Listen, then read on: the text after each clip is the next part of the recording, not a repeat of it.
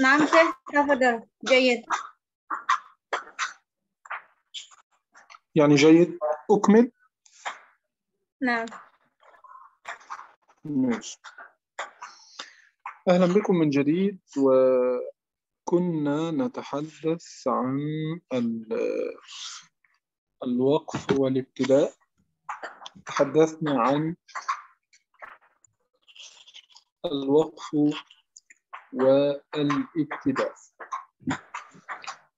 نكمل نكمل آه، ونقول آه، تحدثنا عن الوقف التام المرة الماضية والوقف الكافي والوقف الحسن. اليوم نتحدث عن الوقف القبيح والوقف اللازم. الوقف القبيح أن نقف عند أو أن نفصل بين الفعل والفاعل وأن نفصل بين الفاعل والمفعول في اللغة العربية أو عادي عادي. أو نفصل بين المفعول والحال أو ذوي الحال أو الصفة أو المضاف إليه أو البدل. كل ذلك ممنوع في الوقف والابتداء. يبقى الوقف والابتداء لا يمكن أبدا أن أقف وأفصل بين الفعل والفاعل. يعني لا أقول جاء وأقف جاء فرعون. لا يجوز أن أفصل بين ال... لا يجوز أن أفصل بين الفعل والفاعل. ولا يجوز الفصل بين الفاعل والمفعول ولا بين الحال ولا البدل ولا الصفة ولا الصفة ولا آه، المضاف إليه ولا النداء ولا جواب الشرط. كل ذلك لا يجوز الوقف عنده. مثلا مثلا آه عايز إيه؟ أنا مش عامل مش عامل ضرر مش مشكلة. لا أونلاين. يبقى آه إن جواب إن جواب إن الناسخة. وكذلك كان أن آه، كان وأخواتها كان الناقصة. كل ذلك الوقف قبيح عليها ولهذا نجد في كثير من المصاحف علامة الوقف لا أي الوقف الممنوع. وهذا اسمه الوقف القبيح. الوقف القبيح. إذا الوقف القبيح أن نقف على كلمة ليس لها معنى ليس لها معنى. يعني حينما أقول مثلا إن تؤمنوا بالله وأقف هل جملة الشرط هذه هل إن تؤمنوا بالله أفادت معنى؟ أي جملة في اللغة العربية لم تعطي معنى حال الوقف فالوقف هنا قبيح. نعم. الوقف كما قلنا قبيح. طيب علامات الوقف في المصاحف الشريفة. علامات الوقف في المصاحف الشريفة. علامات الوقف في المصاحف الشريفة. علامات الوقف في المصاحف الشريفة تختلف عن بعضها. مذاهب المشارقة. أنتم أنتم أهل أندونيسيا وماليزيا والهند وباكستان وتركيا وطاجكستان هذا نسميه المشارقة تعتمدون وقف الإمام السجاوندي السجاوندي. هذا رجل له كتاب اسمه علل الوقوف للإمام السجاوندي. هذا كتاب مشهور في القرن السابع السابع الهجري. تحدث عن تقسيم الوقف والابتداء وقسمه إلى خمسة. وقف مطلق اللي هي الطاء عندكم في مصاحفكم طاء. وكذلك آه، جيم يعني الوقف الجائز. والصاد يعني مرخص. والزاي مجوز. ولا الممنوع. وميم اللازمة. هكذا. يعني هو يبقى عندنا آه، اللي هي طاء وصاد ولا وجيم وزاي وميم الخنجرية. هذه علامات الوقف عند الإمام السجاوندي. أنتم أنتم مصاحفكم على هذا الوقف. لجنة المصحف عندكم لجنة المصحف عندكم لا تعترف إلا بهذا الوقف. أي وقفة موجودة عندكم في المصحف؟ قال بها الإمام السجاوندي أضف على ذلك نضيف على ذلك أن هناك علامات أخرى اللي هي قف وقاف هكذا. قف وقاف. تجدونها؟ هل رأيتم هذا الوقف؟ قف. قف اختصار لكلمة قف أولى. والقاف يعني اختصار لكلمة قف. مرة أخرى أن أن أن قف معناها قف أولى أخذنا الحرف الأول قف قف أو قيل وقف. أنا آسف آسف. قف اختصار لقف آه، قيل قف. أخذنا أخذنا الحرف الأول من قيل. قيل والحرف الأول من قف فبقى قيل قف. فنسمي هذا مين هذا آه علامات أيضا للوقف مثل قول الله تبارك وتعالى في سورة التوبة لقد جاءكم رسول من أنفسكم عزيز. تجدون في مصاحفكم قاف أو قف. آه لأن كلمة عليه ما عنتم جملة أخرى مستأنفة لا تدخل في حيز الجملة. الأولى طيب مصاحف مصر مصاحف مصر أو مصاحف الحجاز أو نسميها مصاحف مصر تعتمد وقف الإمام الأشموني والإمام الأشموني له كتاب اسمه منار الهدى منار الهدى. هذا كتاب عمدة وكتاب كبير في الوقف والابتداء نعتمد عليه. لكن لا لا نستخدم اصطلاحاته لا نستخدم اصطلاحاته. فالوقف عنده على ثمانية على ثمانية أنواع. تام أتم كاف أكفى حسن أحسن قبيح أقبح. إذا الوقف عنده على ثمانية. نحن لا نستخدم ذلك. نحن نستخدم كلمة قيل أو صلة أو جيم أو ميم. صحيح؟ أنتم في مصاحف السعودية تجدون هذا فقط. يعني قيل قيل صحيح؟ وصلة وجيم اللي هي الجواز وميم الوقف اللازم. تمام. أما مصاحف المغاربة والمغاربة نقصد دولة ليبيا ليبيا وتونس والجزائر والمغرب وموريتانيا. هذا نسميها دول المغاربة. تستخدم علامة وقف واحدة فقط اللي هي صا صا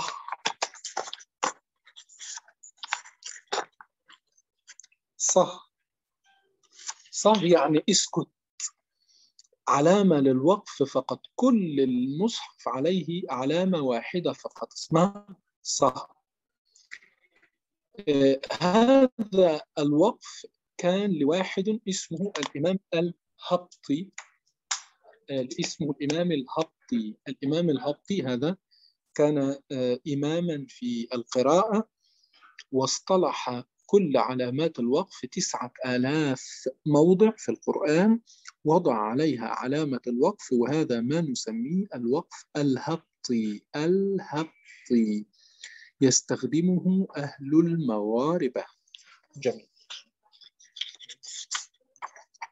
طيب. أريد أن أقول أن عندنا في المصاحف عنوان الكتاب عنوان الكتاب بين أيديكم أنه أن أن هناك خمسة مش مشكلة مش مشكلة خمسة خمسة مذاهب في الوقف خمسة مذاهب أو خمسة مذاهب في المصاحف. كما ذكرت لكم كما ذكرت لكم المرة السابقة أن هناك مصاحف المشارقة. أنتم مشارقة مصاحف المصريين ومصاحف المغاربة ومصاحف الشناقطة. تسمعون عن الإمام الشنقيطي؟ الإمام الشنقيطي إمام التفسير. الإمام الشنقيطي أو في السعودية كثير يقولوا الشناقطة الذين يحفظون الذين يحفظون الأحاديث و... و... وهذا كله اسمهم الشناقطة وهم أهل الم... وهم أهل موريتانيا موريتانيا نسميها الشناقطة. يحفظون لهم هذا مذهب خاص ومذهب الأفارقة. الأفارقة يعني كثير من الدول كثير من دول الأفارقة يستخدمون مصاحف تختلف الخط عن المصاحف الأخرى. يبقى عندنا خمسة مذاهب. يبقى مذهب مذهب المشارقة والمصريين والمغاربة والأفارقة والمشارقة. طيب. أقول لكم آه نبدأ بقى في موضوع تقسيم القرآن الكريم.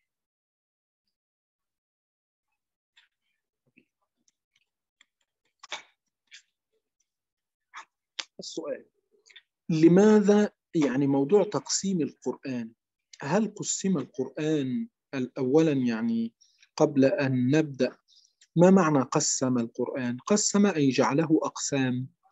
يعني أنت اليوم تقرأين جزءا وغدا جزء وتختمين كل شهر جزء هذا اسمه تقسيم القرآن هل تقسيم القرآن هذا كان من عهد النبي صلى الله عليه وسلم؟ هل كان من عهد النبي تقسيم القرآن؟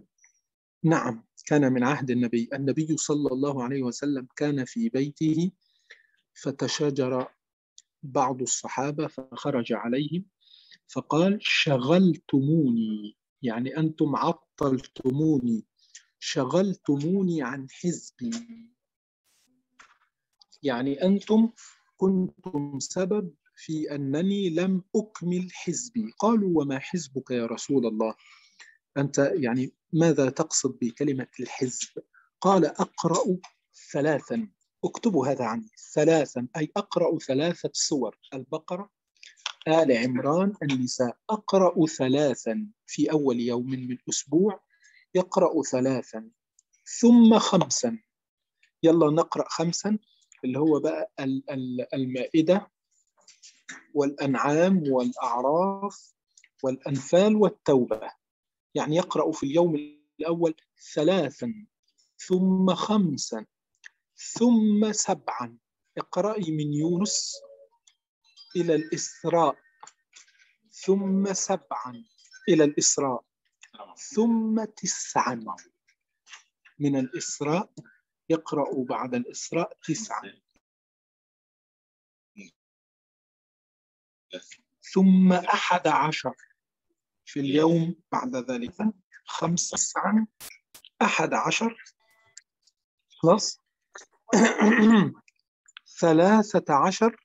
إلى سورة قاف ثم المفصل وفضلت بالمفصل. المفصل آخر خمسة أجزاء.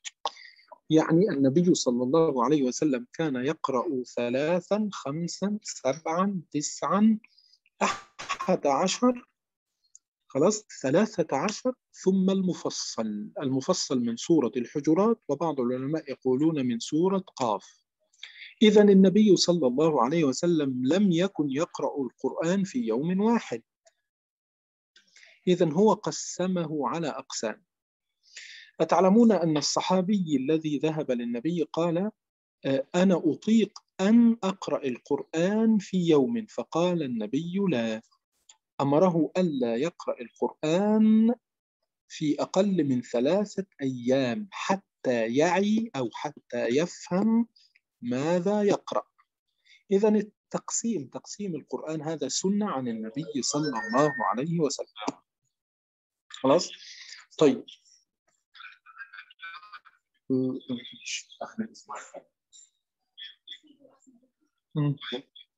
بس بتاع الفيشة هتفصل ممكن. أنا آسف. خمس آه، ثواني خمسة. طب خلاص ثانية أقعد فيه.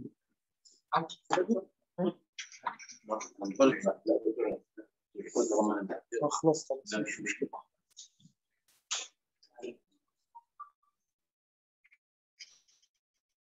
Bentar ya, tunggu dulu.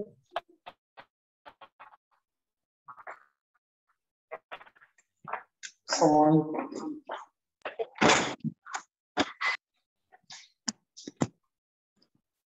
Mm-hmm.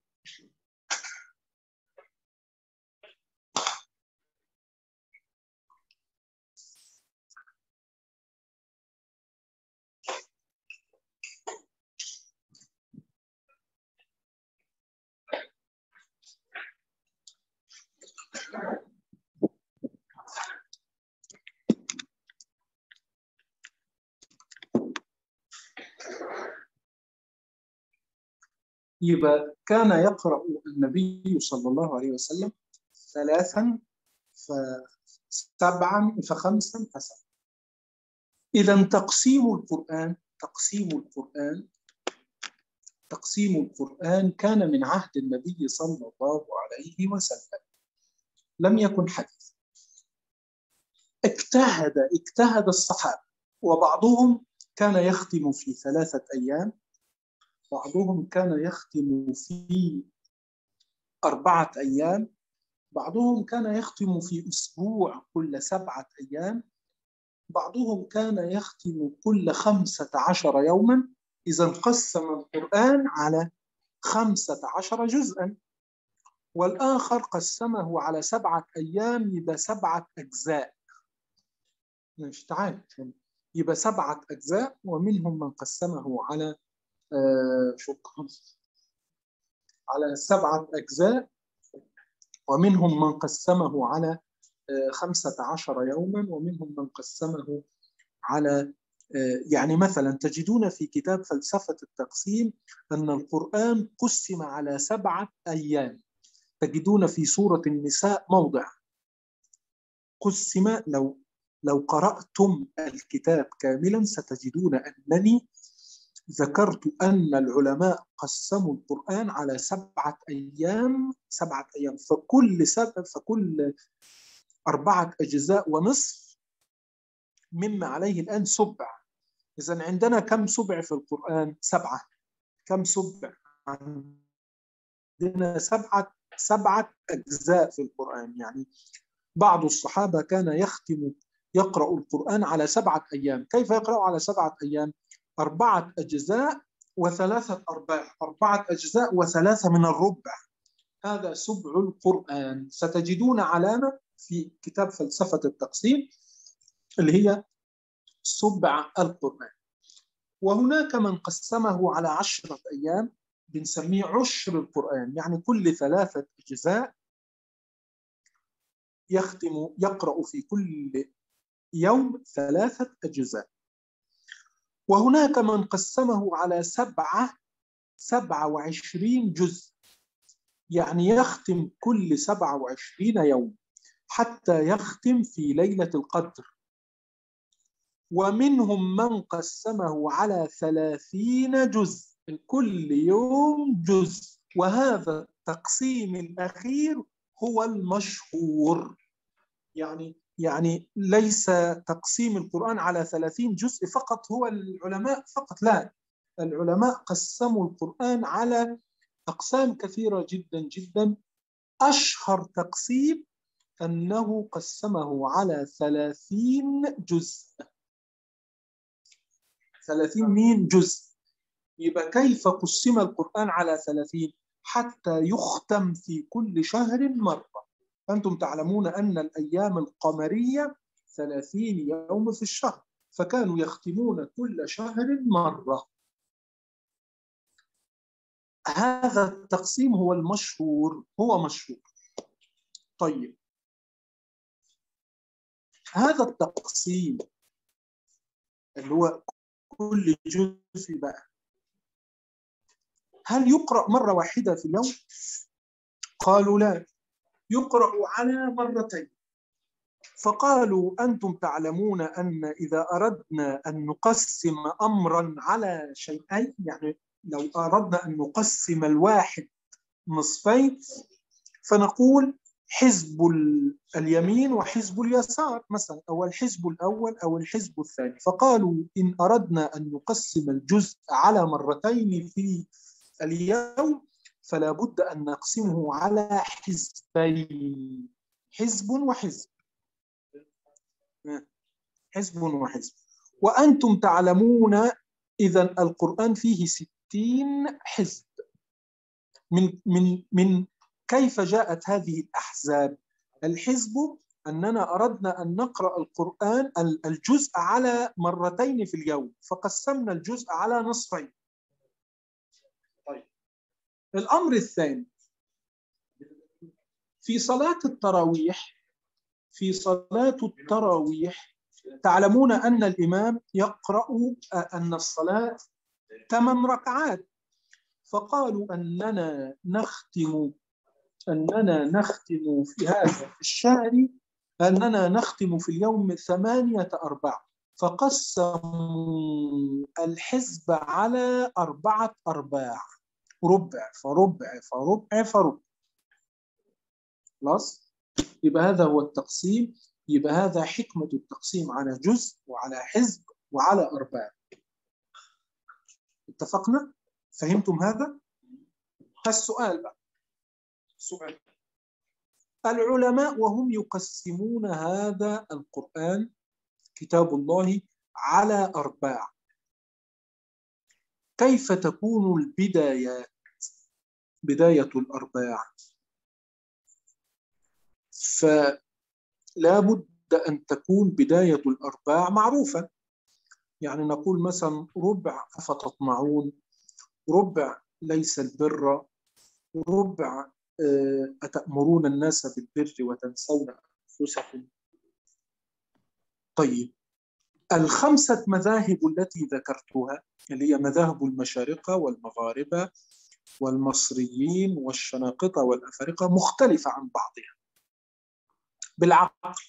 أقول لكم بالعقل. يعني فكروا معي عقلا. تقسيم القرآن هذا. ما الغرض من ما الغرض من التقسيم؟ أننا نريد أن نقسم القرآن حتى إذا انتهيت من قراءة أعرف المكان الذي أبدأ منه. صحيح؟ يعني أنا الآن أقرأ مثلا جزء.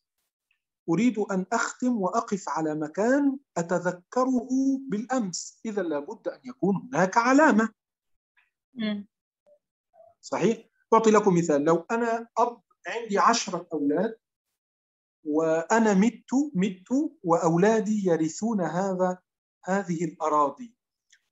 مش يقسمون هذه الأراضي فيضعون علامة عند نهاية كل ميراث.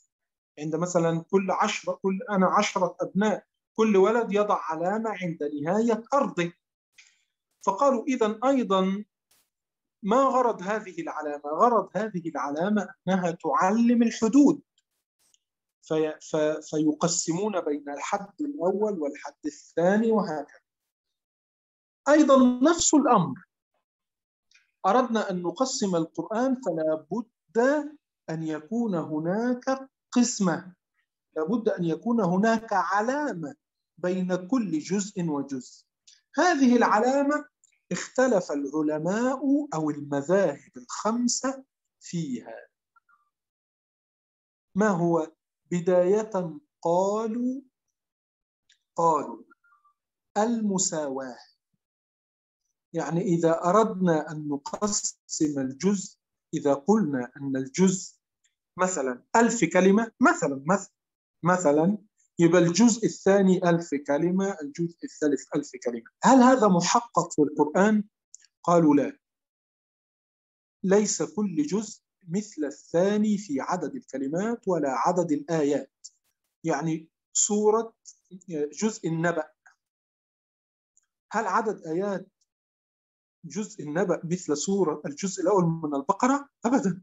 الجزء الأول من البقرة مئة آية. أما جزء النبأ النازعات وعم فقط مئة آية يعني ربع يعني يعني ك ك إذا هو ليس بعدد الآيات ولا بعدد الأسطر. ولا بعدد الكلمات. وإنما هي تقريب يعني هناك تقريب. يعني يعني مثلا إذا قلنا آه، أننا أردنا أن نقسم القرآن فهو ثلاثين جزء كل جزء قريب قريب من الجزء الذي بعده في عدد الكلمات في عدد الكلمات ليس في عدد الآيات وإنما في عدد مين الكلمات. إذا قلنا الجزء الأول مثلا ألف كلمة ممكن يكون الجزء الثاني تسعمائة وكسر أو ألف وبعض الآيات أو, أو بعض الكلمات. إذا القسمة بداية لابد أن يكون فيها نوع من المساواة ليس مساواة بالضبط لأن هذا لا يتحقق. تفهمون؟ لأن هذا لا يتحقق. أنتم لو عددتم لو عددتم عدد آيات سورة عدد آيات الجزء الأول تجدونها مثلا أقل بكثير جدا من جزء النبأ عدد الكلمات. إذا هو قريب يبقى هو كتقريب. هذا بداية. يبقى آه تفهمون كلامي؟ نعم أفهم. مفهوم إن شاء الله نعم. مفهوم؟ ماشي. أم تريدون مترجم مترجما؟ أم جيد. جيد. موجود. عندكم مترجم الآن؟ عندكم مترجم؟ ممكن المرة القادمة. ممكن الأحد القادم. أو نعم.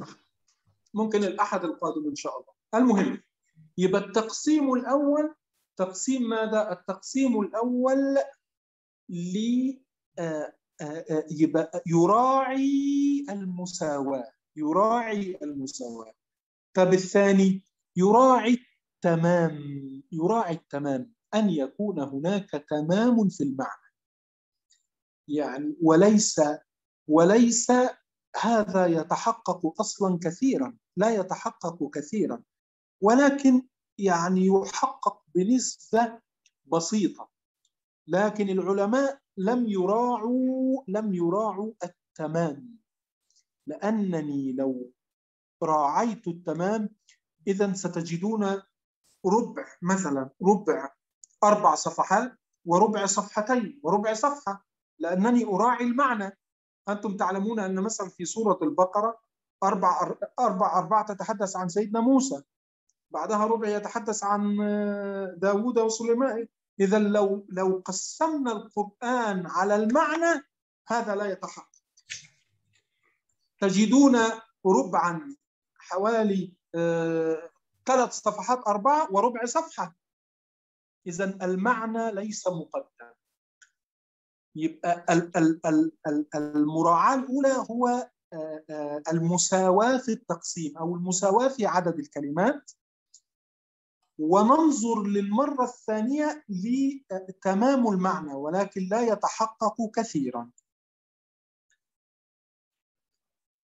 ثم هذين هذين اللي هي المساواة والمعنى هذا ما وجدته عند العلماء. هذا وجدت هذين عند من تكلموا عن التقسيم لكنني اكتشفت اكتشفت اكتشفت هذا بعد طول نظر بعد طول نظر رزقني الله هذا الأمر اولا وجدت أن العلماء يقسمون القرآن على كلمة متفردة أليست الكلمة أليس الربع يميز بكلمة؟ يعني مثلا ما الذي ميز سورة البقرة؟ كلمة البقرة فيها ما الذي ميز سورة آل عمران؟ إن الله اصطفى آدم ونوحا وآل إبراهيم وآل عمران. من الذي ميز كلمة سورة الشورى وأمرهم شورى بينهم؟ إذا السور تتميز بكلمة. طب لو أردت أن أميز ربعا سورة أردت أن أميز ربعا هل أميزه بيا أيها الذين آمنوا؟ هل أميزه مثلا ب آه، بكلمة تتكرر كثيرا؟ أم أميزه بكلمة لم تأتي في القرآن أبدا؟ أو الهيهات هي لم تأتي إلا مرة. فلو قلت لك اقرأي ربع هيهات ستعرفين أنه هو الربع الثاني من سورة المؤمنين. إذا أول أول شرط في التقسيم التفرد. التفرد يعني لفظ متفرد لم يأتي في القرآن إلا مرة. يبقى منيبين. كلمة منيبين لم تأتي إلا مرة. ترجي من تشاء منهن. ترجي لم تأتي إلا في الأحزاب. ترجي. إذا لو أنا قلت مثلا اقرأي ربع ترجي ستعرفين أنه مباشرة في سورة الأحزاب. إذا يبقى القسم الأول من مراعاة التقسيم هو التفرد. والتفرد على ثلاثة أنواع. إما بكلمة زي ترجي كلمة واحدة. أفتطمعون هي كلمة واحدة. منيبين كلمة واحدة. كلمتين يعني. وإذ إذ لأن إذ تكررت كثير في القرآن. أنا أقول وإذ ابتلى. وقعت كم مرة في القرآن كلمة وإذ ابتلى مع بعضهما. هي مرة واحدة. إذا هي بداية الربع. لو قلت لك اقرأي ربع وإذ ابتلى ستعرفون أنه في البقرة ربع ما ننسخ. البقرة. يعني ما هي كلمة واحدة لكن ما ننسخ يبقى كلمتين. يبقى التفرد إما أن يكون مثلا بكلمة أو بكلمتين. أو بثلاثة كلمات. أو بثلاثة كلمات ليس بكلمة واحدة ولا اثنين ولكن بثلاثة كلمات. يبقى هذا هو التقسيم الأول أو المراعاة الأولى. طيب. هذا مذهب المصريين ومذاهب الأفارقة.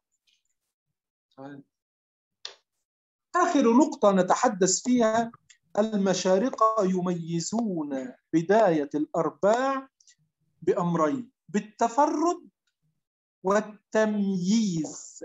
التمييز. ما معنى التمييز؟ اسمعوا الكلام الجميل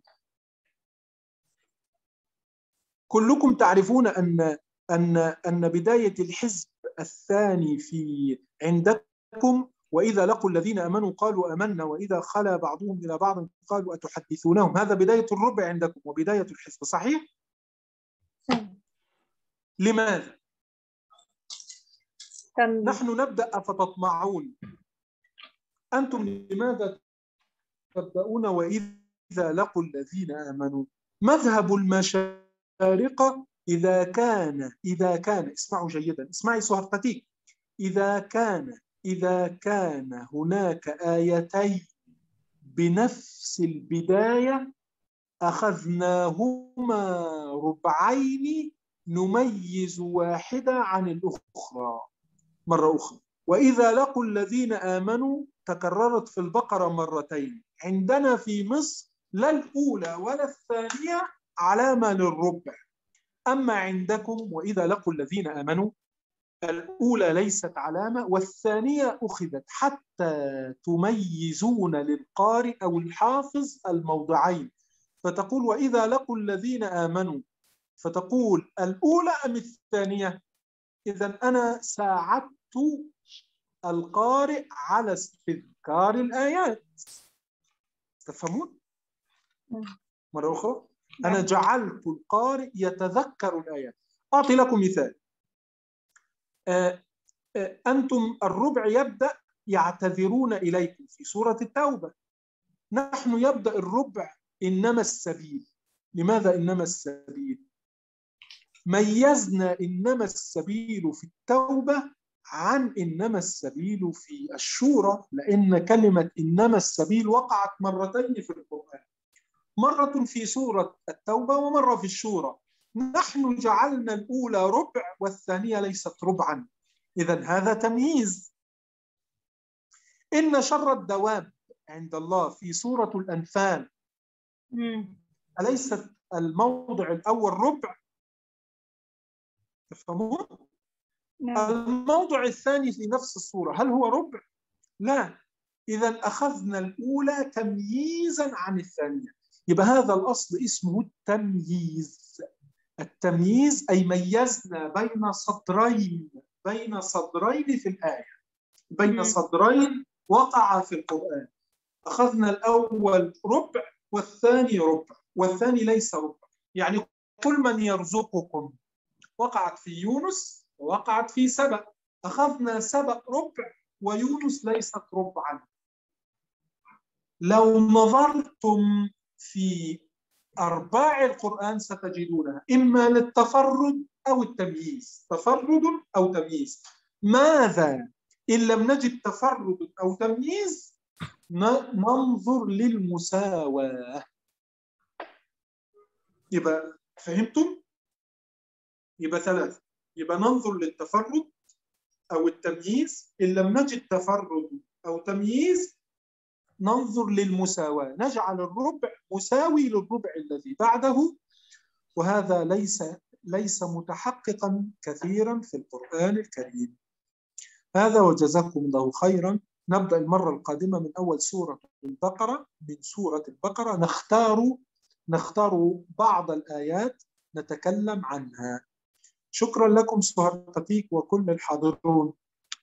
نعم syukran uh, jazakumullah khairan katsiran